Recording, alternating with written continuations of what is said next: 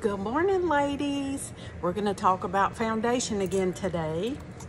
And today's foundation is the Timeless Illuminating Makeup. It has SPF of 30 in it. Now, this is going to give you a medium to full coverage. It is a liquid, has a little pump on there so you get a precise measurement.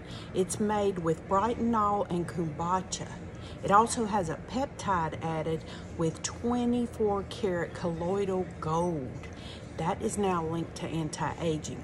So when you use this foundation on normal or dry skin, it's not for oily skin. It's for normal to dry.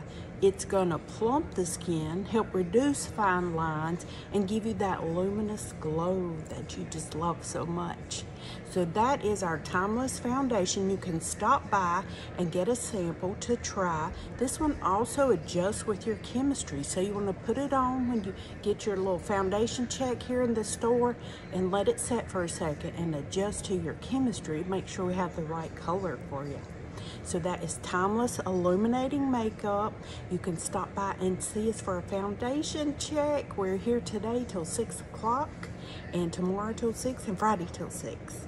And then Saturday, we're open 10 to 4. Thank you so much, you guys. God bless.